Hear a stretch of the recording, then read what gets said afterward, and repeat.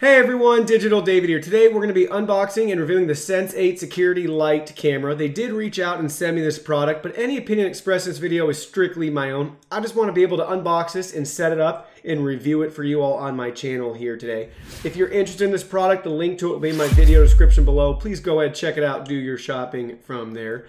Here's how it's going to come packaged to you in a nice retail box with great product photography and a quick overview of tech specs. Let's talk about those for a second. So we're going to have a 1080p full HD camera with 140 degree field of view. It's got four times digital zoom, two-way audio, which means it's going to have a microphone and a speaker on the device so we can communicate with somebody on the other end. Has a siren speaker. Um, it says high sensitivity microphone.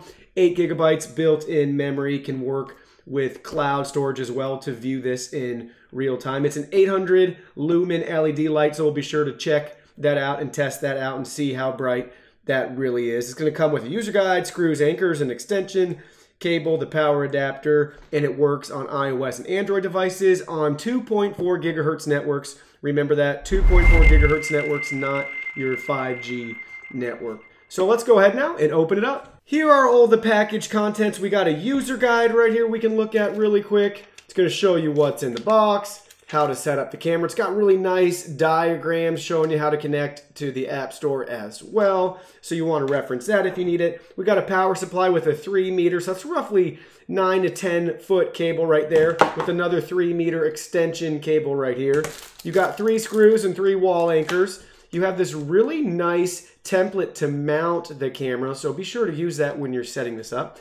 And the actual camera itself. Everything looks great. Nice plastic cover on here. Looks really durable, really lightweight, so it should mount just about anywhere. We can see the light, the camera, your motion sensor right there. We got the microphone and your speaker on the back. You have your 12 volt DC power connector right here to snap into the power supply with a nice grommet seal as well to make sure it's going to be water resistant for you. You have this swivel stand so you can adjust the camera however you want to position it and get it in the right spot for your needs. Now on your iOS or Android device, go ahead, download the SENS8 app from your app store and we'll come back here and we'll set everything up. So I got the camera plugged into a power supply. There's a green blinking LED light on it. I went ahead downloaded the SENS8 app. You can do it too, iOS or Android. You have to create an account. Just use an email and a password and you'll be all set up. You'll be at this page. Now we need to add a camera. So let's go ahead, hit that plus button in the top right corner and select our product. It's the SENS8 Lite camera. Now let's go ahead and add that. It's going to ask us to confirm our location plug in the can to the power outlet and it'll turn on automatically. Check. Is there a green light blinking? Check.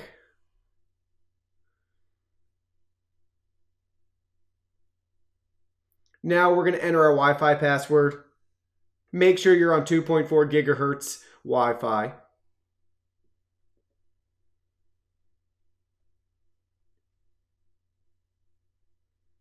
Now we're going to position the phone close to the side of the camera and then hit next.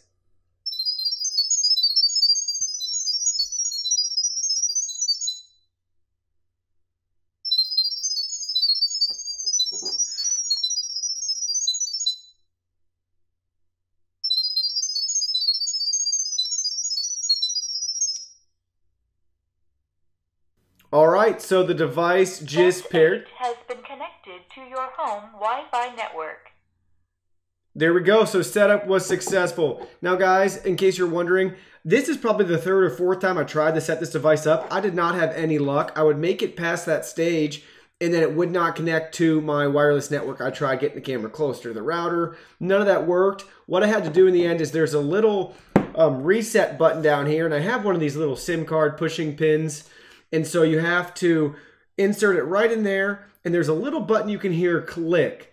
So you don't need to force it. I really pushed mine the first couple times. So I think there's, I'm going to guess maybe some rubber grommet seal or something in there too. So you don't want to damage that. There's just a little button. It'll make a little clicking noise. You just got to push it a couple times. Then to reset it, it'll start blinking green. So after the reset, it worked just fine. So that was really nice. Now we can go ahead and name the device whatever we want. So let's just name it SENS8 Light. Okay, and then you can label it if you want. It's successful. Now we need to update some firmware.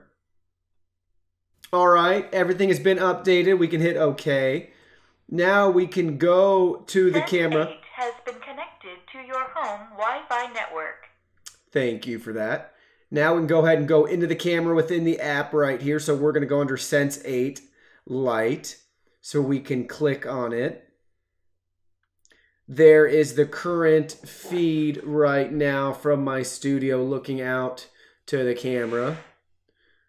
So there is the camera here. Everything looks great, so we can adjust this to 1080 if we want.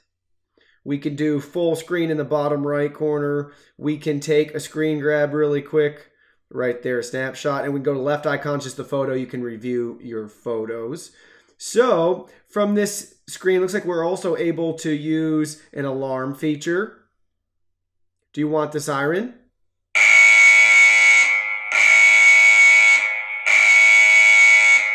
We can mute that. There's a microphone to be able to talk, and then there's the audio to be able to listen. Microphone sounds really good. I can hear myself just fine with that audio feature. And then it's got two way audio, so we can talk into it as well.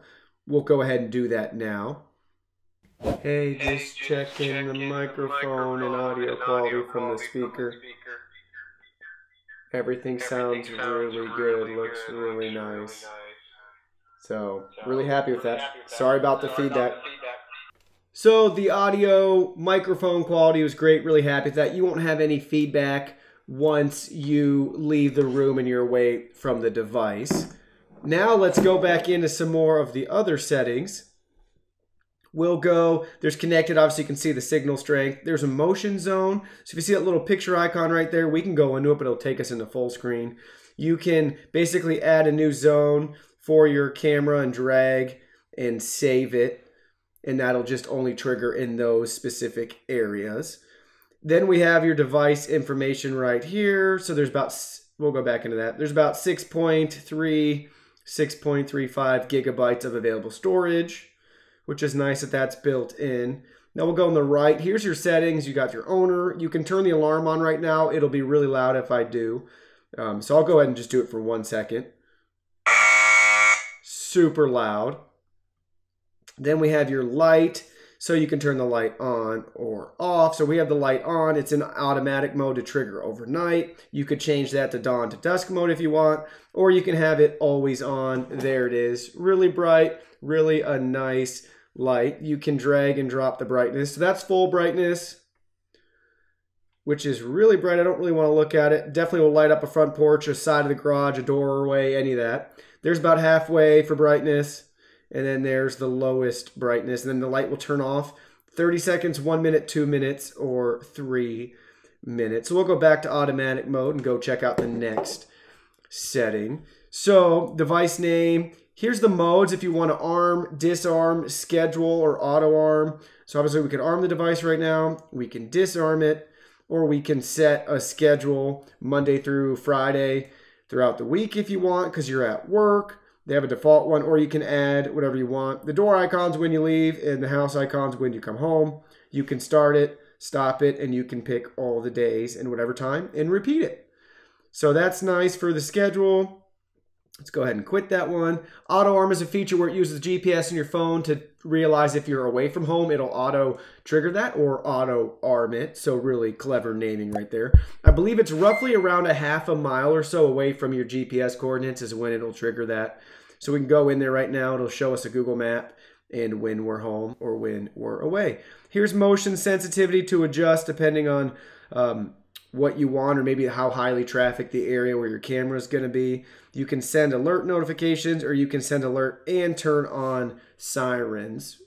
So that's pretty neat.